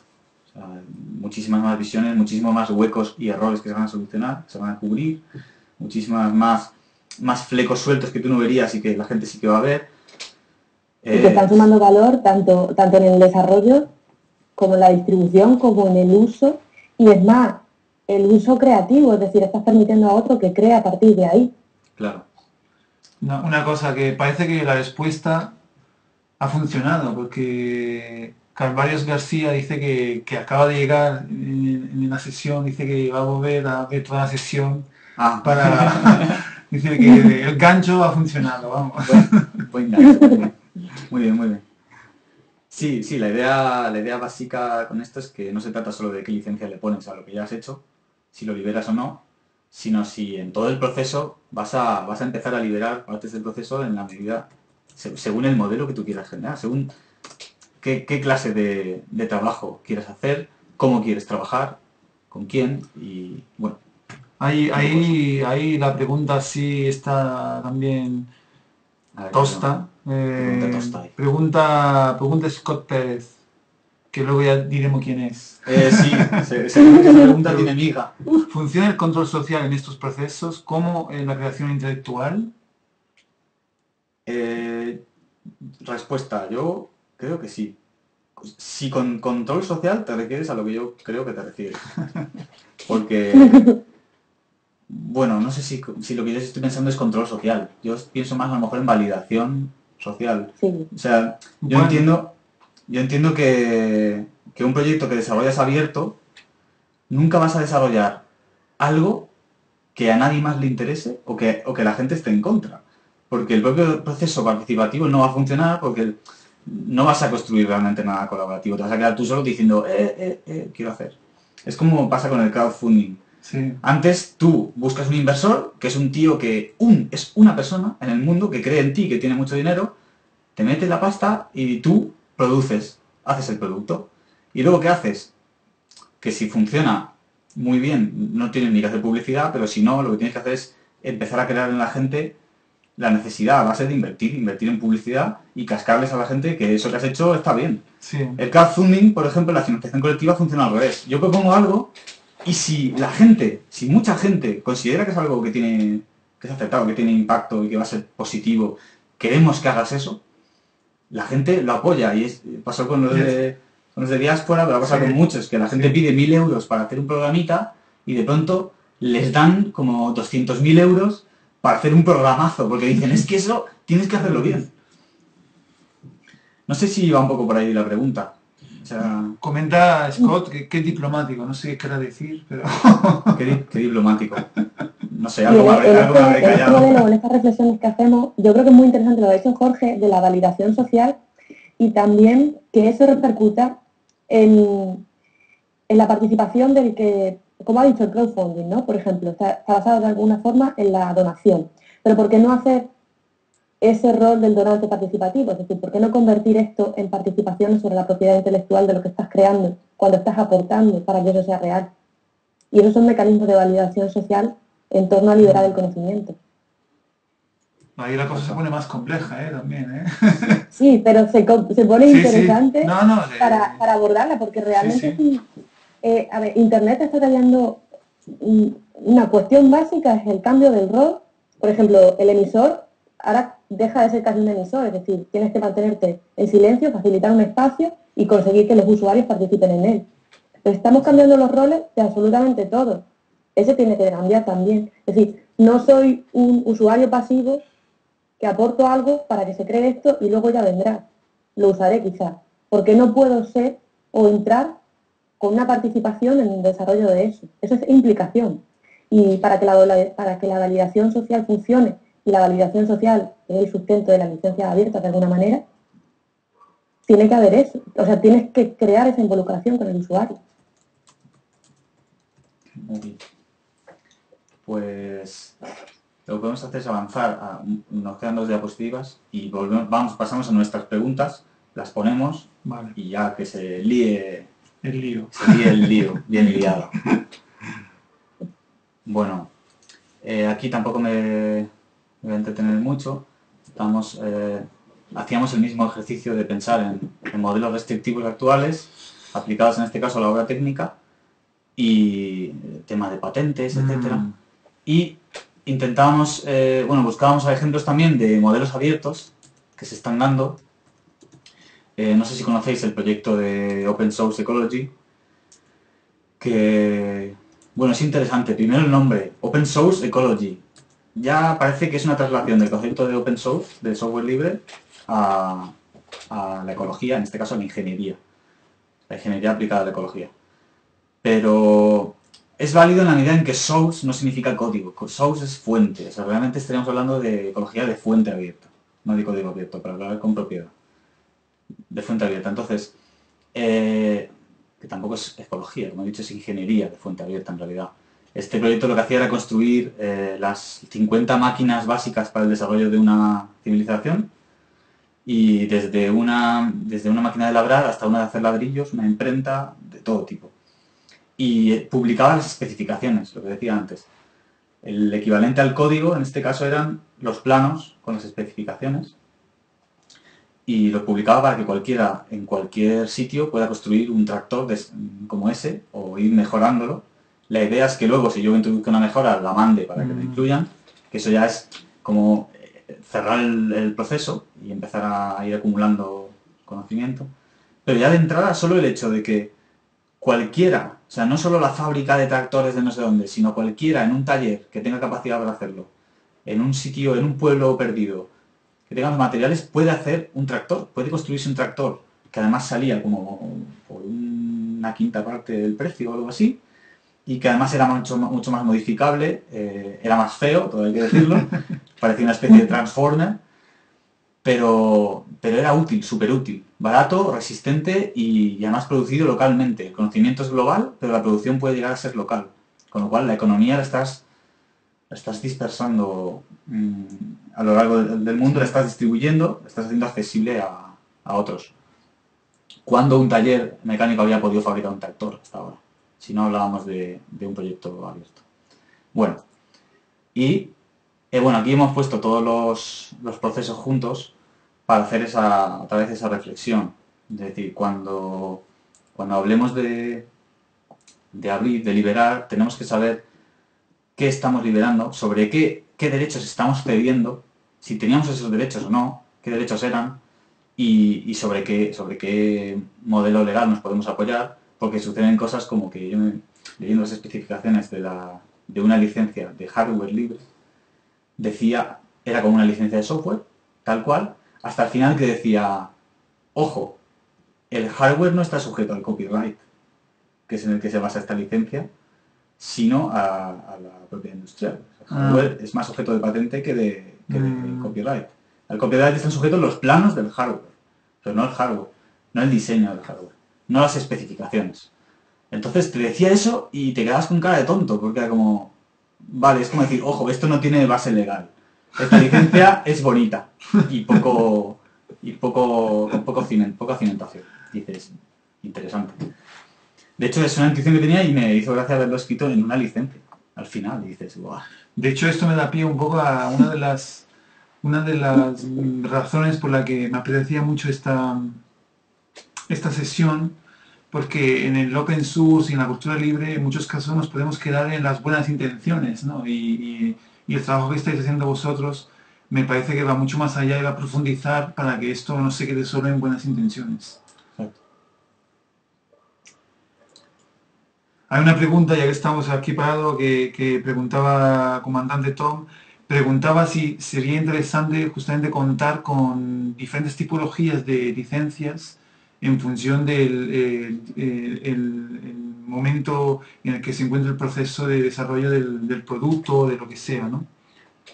Es decir, dependiendo de, de en qué parte del proceso estamos, Sí, eh, sería interesante tener diferentes tipos de licencias. hombre, mm, yo creo que tiene, que, que no solo es interesante, sino que seguramente tenga que ser así.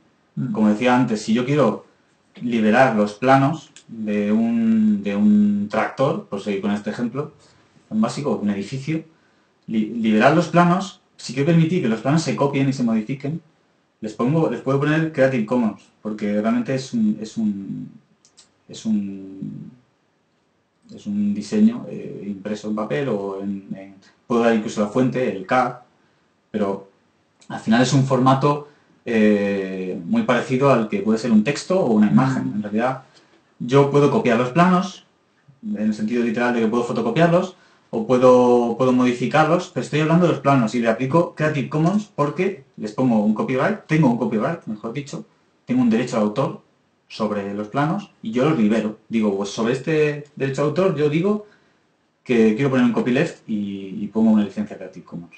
Pero si estamos hablando de, de liberar las especificaciones en sí, el diseño, la forma de lo que estoy diseñando o de lo que estoy proponiendo, eh, yo intuyo que de alguna manera la licencia no, es, no está basada en el copyright.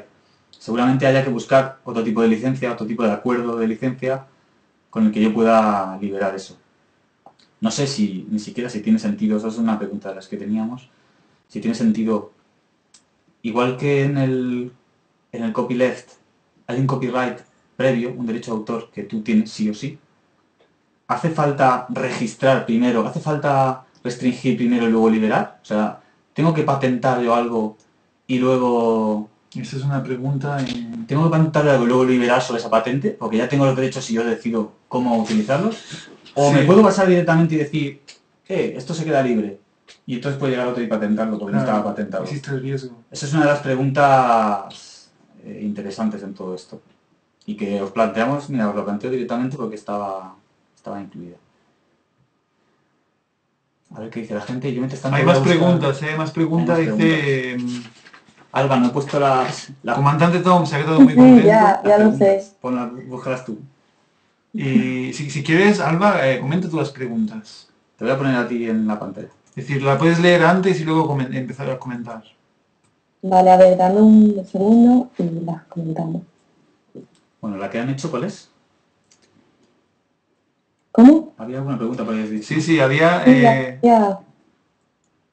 es que la tenemos que leer antes porque así se queda grabada en el vídeo. Entonces, ¿la lees tú, Alba, o las leo yo? Venga, las leo yo. La del chat. Venga. Entonces, ha- habla aquí Dani, eh, dice, al final hemos hablado de, estamos hablando de monetizar el conocimiento. ¿Habéis explorado otras formas posibles más allá de las licencias? Otra, otra forma de... Es decir, no entiendo muy bien mm, a, a qué se refiere. Es decir, probablemente... es- no sé si Dani nos puede especificar Ah, de monetizar, vale. Sí. No he entendido la palabra. Ah. Monetizar, monetizar el conocimiento. Sí, al Sí. final, más, yo diría más que moneti- monetizar el conocimiento. En realidad el objetivo detrás de eso es poder vivir haciendo lo que quieres hacer. O sea, si a mí el dinero me, lloviera encima, yo no tendría que monetizar nada. Yo me pondría a crear cosas súper interesantes con gente y estaría más feliz que nada. El caso es que quiero vivir haciendo eso, entonces necesito dinero, entonces efectivamente tengo que monetizar, pero como consecuencia, no como objetivo. Yo creo que eso, eso primero. Y Alba, te veo ahí como con ganas de decir algo. No, y que No, luego sí. es lo que estamos diciendo, es donde quieras poner, donde quieras poner el foco, es decir, el objetivo no es tanto la licencia como has dicho, sino donde tú quieres poner la rentabilización de aquello que has creado, que al final cada uno es una actividad intelectual muy potente que ha diseñado algo que se puede, o, o que será un producto que será un servicio. Entonces, lo quieres, quieres ser restrictivo en un inicio y proteger al máximo esa invención, entre comillas, o puedes explorar nuevas formas en el uso y entonces utilizar unas licencias más abiertas o más, Sí. a ver, más, Ah, bueno, igual, más permisivas de alguna manera.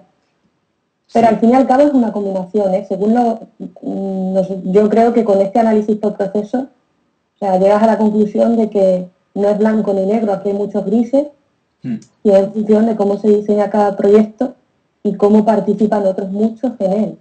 Te aportan, porque también no solo hay que ver lo que uno puede, o sea, el coste oportuno o lo que uno puede perder, entre comillas, sino que es todo lo positivo al proyecto que pueden aportar otros. Sí, y una respuesta quizás un poco más concreta, porque estaba tratando todavía de asimilar la pregunta. Eh, efectivamente, o sea, en esos modelos que estaba diciendo Alba, que yo quiero construir esas nuevas formas de trabajar y de producir las cosas, eh, una de las bases en las que se apoyan es la, son las licencias, son los derechos, son los derechos, que es de lo que estamos hablando en esta sesión. Pero obviamente tiene muchas más patas el, el sistema. Pod- Podríamos hablar, por ejemplo, de procesos de trabajo. ¿Qué mecanismos de colaboración o qué sistemas de colaboración, qué herramientas utilizo yo para trabajar con, con otra gente? Mm. ¿Qué, qué maneras hay de, de fomentar la participación o de, de trabajar eh, con, con sistema participativo? Em, de hecho, yo, como estaba investigando eso en general, tenía como otras asignaturas, entre comillas, del máster. Esta es de Rights, o ese Rights. Otra que era Economy, eh, expresamente, que era como modelos de negocio abiertos. Y otra que era Workflow, que es, el- es- es- es exactamente el flujo de trabajo y, y las herramientas para trabajar de otra manera. Luego había, Son- había otra pregunta, así como así divertida, si conocéis algún otro estudio que deje los proyectos en licencias libres aparte de ecosistema urbano. eh, bueno, estudio de arquitectura, entiendo que se refiere. Es Bernardo buscaba, jus- Sí. creo que, que se refiere justamente a estudios, es decir, que no... Sí hay, sí, sí que hay. ¿Te acuerdas de Eh, algún nombre? Espérate. Eh, Bueno, si, si miráis en. Si miráis en. eh, a ver. Eso, Open Building, ah, puede ser. Es una base de datos de proyectos Sí. que la gente libera. O sea, que hay un montonazo de estudios que, eso están, se, que están liberando sus, Sus proyectos. sus proyectos. sí, eso se parece un poco a lo que comentaba Scott en el chat a PFC Commons, que es un poco también un directorio de, de proyectos de final de carrera de, de arquitectura que, Sí. que dejan en Creative Commons, ¿no? Sí. Sí. Y, y, bueno, em, no sé si hay otras preguntas, Bueno, de una- hecho. Sí. sí, una, una, una nota sobre eso. Es que dejar con Creative Commons eh, los planos en PDF Claro. es una cosa. Eh, eso se- es, Otra cosa es publicar los archivos de CAD es lo que estábamos comentando abiertos, editables y, y que tú puedas modificarlos y acceder a, a ellos. Y otra cosa más allá todavía es que esos archivos de CAD estén en un sistema de colaboración en el que el que los modifica pueda cambiar cosas y mejorarlas y mandarte la modificación, mandarla al- al- a la base colectiva de, de datos para que esa modificación la puedan también usar otros. Es decir, empezar a acumular modificaciones y mejoras y conocimiento.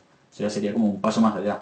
Que ahí eh, ahora mismo no se ha llegado, se está empezando a llegar. El, está el proyecto este de, de la... Es este, el Open Building, ¿no? Es este. Es que no sé si es Open Building o Open Building, Open Building Network. No, es Open Building Network, creo que es. Si no, luego... luego Vale, si no, luego lo pasamos. Aprovecho para recordar a, La la, post. a Bernardo y a la gente que está en el chat, en todo caso, que que nosotros luego hacemos una recopilación de toda la sesión y lo publicamos en, en el blog eh, y ahí tendréis también todas la- las informaciones que hemos comentado hoy. Sí. Eh, otro ejemplo es eh, la WikiHouse, que es bastante reciente. Ah, sí, Lleva apenas meses en el, por lo menos en el panorama público, aunque llevan más tiempo trabajando.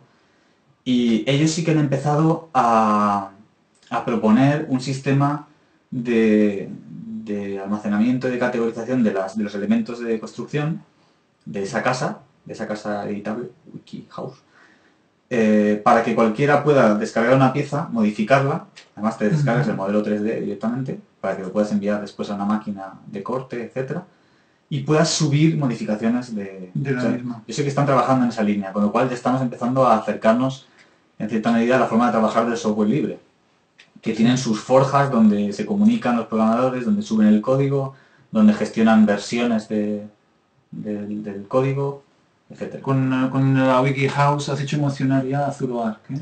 Pues ya se han puesto contentos por ahí. Es un temazo WikiHouse, estoy totalmente de acuerdo. Estoy totalmente de acuerdo. ¿Cómo vamos? Vamos acabando, que ya tenemos eh, así como... Sí. Sí, Si Alba quiere lanzar alguna de las preguntas bomba que teníamos por ahí guardadas, sí. Eh, tienes el, el PDF. Hay muchas que ya las hemos, por ejemplo, las voy a ir leyendo, ¿vale? ¿Cómo generar valor a partir de la no exclusividad? Y eso lo hemos hablado un poco entre los grises de las licencias restrictivas Sí, sí. y las licencias permisivas. El reconocimiento legal de control previa de la cesión. Eso también se ha comentado un poco. Que, que era Eso el, lo te- hemos- sí, el tema de, de tengo que aplicarle, igual que aplico el copyleft sobre un copyright previo, tengo que pensar cuando esté hablando de, de temas de propiedad industrial, tengo que pensar en una especie de registro previo, ya sea con patente o como sea, previo a la liberación, para tener una base legal más que nada en la que apoyarme, porque al fin y al cabo tienes que interactuar con un modelo, con modelos de negocio muy distintos, que no están en tu misma dinámica y, y está bien a por lo menos apoyarse en una base, una base común para, Mm. para poder funcionar. Es, es un debate, es un tema. O sea, yo El, el tema del, del reconocimiento legal en, en términos de coste de oportunidad en- es súper interesante porque sí que es cierto que toda la propiedad industrial tiene un reconocimiento legal, es decir, hay una legalidad, unas regulaciones y, y a eso atienden, y lo abierto no, pero lo abierto le eso gana. ¿Y qué podría...? Sea, ese debate sí que nos parece muy interesante. Otra pregunta. Tiempos del derecho de exclusividad. O sea, cuando se concede una, una patente o se concede el, el registro que sea, está atendiendo a un tiempo y pasado ese tiempo pasa a dominio, a dominio público. Bien, ¿por qué tienen que ser, por ejemplo, 70 años? En cada tipo de registro es distinto, ¿no? Pero rondan entre los 50 y 70 años. ¿Por qué no acortar esos tiempos? Porque sabemos que, por ejemplo, lo que decíamos, o sea, los ritmos de la innovación y de la investigación son tan vorágines que están dejando patentes para la o sea, patentes obsoletas en términos de, de investigación de vanguardias, pero que sí que podrían tener un uso diferente en otro. Y eso lo que te llevaría es habilitar los bancos de patentes en desuso de los que hablábamos, o lo que decimos, acortar los tiempos. ¿Quieres decir algo en eso, Jorge? No, no, lo has dicho perfecto. Perfectamente. Otra pregunta que tenemos es cómo compatibilizar intereses dispares entre la comunidad voluntaria y las cuestiones de negocio. De negocio como lo que decía Jorge, o sea, si tú te dedicas a esto, quieres seguir dedicándote a esto. Necesitas recursos. Y nada, ahí sí que hay mucho, mucho que, que poder sacar de, de la comunidad que apoya el software libre, por ejemplo, de explotación hacia, otro, hacia otros sectores. Sí, sí, sí. Luego está bien hacerse reflexiones o puntualizaciones. Por ejemplo, yo me he puesto a pensar en arquitectura y he descubierto que tenemos muchas, eh, lo voy a decir así, muchas desventajas respecto de- del diseño industrial. ¿Por qué? Porque, por ejemplo, en diseño industrial yo puedo hacer iteraciones del proceso mucho más rápido. Yo puedo construir un prototipo, probarlo, testearlo, un prototipo parcial, un prototipo completo, testearlo mil veces, gastarme, invertir en él bastante dinero, porque luego una vez que lo tenga hecho, voy a tirar 500.000 unidades iguales. Entonces voy a rentabilizar con cada venta de esa unidad, voy a rentabilizar el proceso de investigación previo. Por eso los coches salen tan bien construidos y las casas salen tan mal construidas. Porque las casas son las casas son prototipos. O sea, una casa construida es el primer prototipo que haces. O sea, un, un arquitecto le tendría que decir al ingeniero, tío, que yo lo he intentado clavar a la primera. No me, no me dirás que, que tengo que conseguir la misma eficiencia y el, el diseño que en un coche, que ha hecho como mucho más Claro. que estoy dos años haciendo pruebas, ponte tú a hacer pruebas de una casa, no, la construyo, Y luego... este prototipo no vale, voy a cambiarle un poco el tejado, la cubierta y tal. Bueno, eso en realidad eh, ocurre cuando es autoconstrucción a veces, ¿no? Que yo, por ejemplo, en el pueblo eso sí que le he vivido un poco, ¿no? Si mi padre empieza a hacer algo, luego el, viene Sí. el otro lo transforma, luego Sí. tal y cual, y la casa se va como... Eso es un buen punto, o sea, sucede, eso sucede en la, en la cultura popular, en la Sí. inteligencia colectiva, o sea, se transmite la forma, por eso las casas tradicionales funcionan muy bien en su clima, por ejemplo, y es porque el testeo sí que se ha producido, sí que hay miles de versiones detrás de casas que no han funcionado bien y, y que han ido, estos los de Zuluar que estarán también a punto de saltar, porque, ah, inteligencias colectivas. Me, Eh, me reía ahora por, por Dani que decía que llevamos décadas utilizando el hormigón y solo saben hacer los suizos. Todavía le quedan muchas, muchas vueltas al hormigón para que sepamos, que sepamos usarlo. Entonces, el tema es que la arquitectura es mucho más lenta en ese Sí, sentido. sí, o sea, sí. las iteraciones que hay son muy lentas y un proyecto como WikiHouse depende de que se hagan muchas WikiHouses por todo el mundo para que empiece a tener Sí. mejoras y a, y a ir evolucionando como Eso, un proyecto de De hecho, para decirlo así, en plan cool es I más D externalizado, ¿no? Es decir, tú quieres hacer una casa, es decir, hay millones de personas que utilizan el WikiHouse, Sí, lo experimentan y luego te dicen qué tal, ¿no? Y entonces como Claro. un I más D distribuido, ¿no? claro, el otro problema para la arquitectura, que la comunidad de usuarios eh, es Ah. mucho más pequeña. Sí, En un software, yo hago un software potencialmente interesante y tengo 10.000 usuarios potenciales, 10 pequeñito, podría tener millones. sí. Pero en una casa que tengo cuatro, la familia de usuarios potenciales, cinco o seis más que han visto el proyecto y les podría interesar después, eh, una panda de arquitectos frikis que podría interesarles aprovechar el proyecto, estamos hablando de, una comunidad muchísimo menor de usuarios. Entonces, ¿quién va a contribuir de antemano a que tu, proyecto- a tu- tu proyecto Claro. mejore? La gente seguramente empezará a introducir mejoras en cuanto haga su propia versión del proyecto. Y eso puede suceder pues dentro de 10 años sí. eh, con los tiempos que maneja la arquitectura. Entonces, eh, por eso hay que hacerse reflexiones y no eh, saltar tan alegremente, o sí, saltar tan alegremente y luego decir, eh, espera, que, que es más complejo de lo que parece. Eh, a ver, Más preguntas o... Siguiente pregunta. ¿Cómo incentivar la participación en el desarrollo? Eso era lo que hablábamos de, de donaciones versus participaciones en la creación del, del conocimiento. sí, ¿Algo que aportar ahí? Eso... o sea, son reflexiones generales que exceden el tema de las licencias, como preguntaban antes, y que se apoyan en, en mecanismos de, de trabajo conjunto, de participación, de colaboración. Eso, esas preguntas pueden ser el índice de un curso de cultura abierta y licencias abiertas Pues, y cada una una sesión, si queréis. Y que, y que el trabajo final sea la construcción de ese modelo. Eso. Bueno, realmente hay gente que Pero está sí. haciendo, por ejemplo, Máximo, Menichi- Máximo Sí. Con el Open Peer-to-Peer Design, él está haciendo metadiseño, o sea, está diseñando procesos de diseño. Está diseñando Claro. procesos de diseño que están pensados para que trabajen con comunidades, que permitan diseñar con más gente y de una manera más abierta. De hecho, es una pena que no estaba Máximo en el chat porque usaba la típica técnica de invitarle y obligarle a que haga en, en directo, ¿no? Pero, pero ya, ya tendremos seguramente a Máximo en alguna, en alguna sesión. A Máximo lo enganchamos. Sí, sí. Sí, sí. Porque es súper interesante. O sea, está trabajando en la construcción de formas de trabajar. sí. que es- responde un poco a esa pregunta. Es- eso es un poco el desafío que tenemos. Porque la forma de trabajar de los programadores, que está muy pulida, que funciona muy bien, o sea, funciona envidiablemente bien. O sea, yo empecé a meterme en esto porque dije, estos tíos, que bien trabajan. O sea, que, claro tienen el control de versiones, que los arquitectos nunca hemos tenido claro. Si ves el sistema de gestión de archivos de los arquitectos, te, te partes. Y, y ellos lo, lo controlan súper bien, los roles en los equipos, eh, la forma de implicar a la comunidad, que lo lograrán más o menos, pero lo tienen, tienen mucha cultura de eso. Mm. Entonces, tenemos que construir nosotros nuestra propia cultura si queremos aplicarlo a la ingeniería, a la arquitectura, a, a lo- a la ciencia, a lo de cada uno. Hay cosas que se están ya dando, pero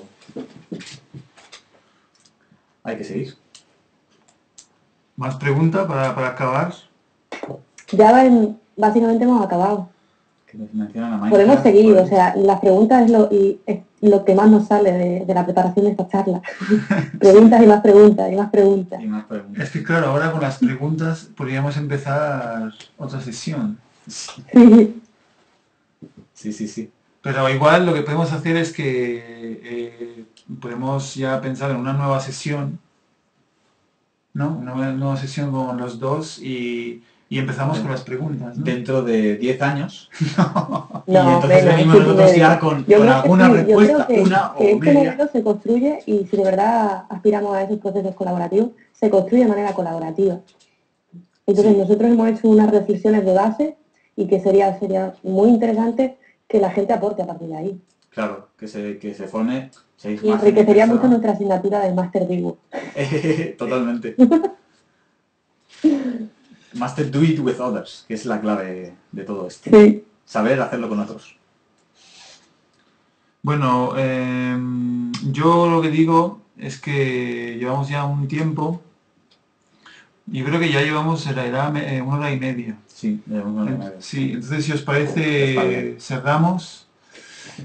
Voy a intentar aparecer yo también desde la nada, a ver si, Sí, asómate. si se me ve. ¿Se me ve? Bueno, ya se te ve. No, un poco más. un, po- un poco más, no, ahora estás... Oh, Estamos medias, como- Se te ve a medias. A medias. Bueno, lo importante es que se percibe que existo. Sí. Bueno, entonces... sombra. Entonces, eh, vamos, a, vamos a acabar. Yo lo primero, bueno, quiero agradecer a Jorge y Alba porque la, la- la sesión ha estado muy buena. Eh, la gente yo creo que lo ha, eh, le ha gustado mucho en, el chat. Y eso no es, no es fácil porque el tema es bastante denso, tiene muchos, mucho, muchas cosas. Y así que lo, lo- lo que podemos, digamos, concluir es que tenemos que seguir con otras sesiones. Entonces, eh, cuanto antes, eh, en febrero ya está todo ocupado, pero a lo mejor... No, déjanos tiempo que tenemos marzo- que avanzar en... No, si, planes. si vosotros avanzáis rápido. Y ya, ya seguro que habéis contado un- una pequeña parte de todo lo que lleváis, yo creo, contando. Ya solo con las preguntas se podría debatir mucho más. Entonces, os, a- os, a- os doy las gracias y espero que nos vemos pronto en una sesión, febrero, marzo, abril. Muy bien. ¿Cómo lo Vamos a veis? gracias a ti. Esto- No, muchísimas mola, gracias a ti. Y yo creo que sí, ¿verdad, Jorge? ¿Eh? Otra más. Sí, ¿Eh? bueno, ya puestos. Dice, dice, dice comandante Tomo que somos demasiado grandes, se refiere a, a que ocupamos espacio, ¿no? En ese sentido. Debe ser, sí, me imagino que sí. Me gustaría que fuera en otro sentido, pero se reduce a eso. Tú eres demasiado grande. Me yo no. imagino que queda por eso. Entonces, eh, yo como os decía al principio de la sesión, eh, os quería comentar un poco eh, cuáles son las siguientes sesiones para un poco engancharos. Ponte un poco más para acá. Me pondré un poco más para acá. Eh, bueno, la- la- la- y así, de hecho, con esto os revelo la identidad oculta de Scott Pérez, que, Ah. que será justamente nuestro, nuestro invitado de la semana que viene. Eh, Alfonso, eh, de hecho, nos hablará, eh, lo quiero leer así, no, nos hablará de razones, razones y ser de la programación abierta y distribuida, que, que de hecho digamos que engancha mucho con todo lo que habéis comentado vosotros aquí en la sesión. Una cosa, Sí, es- espero no haber metido muchos patinazos, porque en ese tema él sabe mucho más. Y yo estaba aquí hablando de software libre y el tío me ha dejado hablar. tenéis suerte que ha llegado tarde. Ah, vale, vale, entonces no No, seguro que no, seguro que no. De hecho, eh, igual se puede establecer algún tipo de, de diálogo entre esta primera sesión y la sesión que de él. Así que si también podéis estar, participar en la sesión siguiente, por lo menos en el chat, seguro Claro. que se puede establecer un, eh, una- un diálogo. Él ahora está justo en Francia, entonces por eso que supongo se ha conectado tarde. Eh, dice, dice Alfonso dice, ¿qué dices? Si tú sabes latín. bueno, entonces, bueno, Alfonso ya nos hablará de, de, un poco de este tema, de cómo abordar todo tipo de proyectos, eh, en este caso más centrado en la programación, para que sea abierta y, distribuida. ¿no? De hecho, eh, con Alfonso también estamos trabajando en un proyecto que, en el que estoy, digamos, que, estoy apostando personalmente mucho, que es Sentient ID, y él justamente lleva un poco la parte de esta estrategia un poco de, programación abierta y, distribuida. ¿no?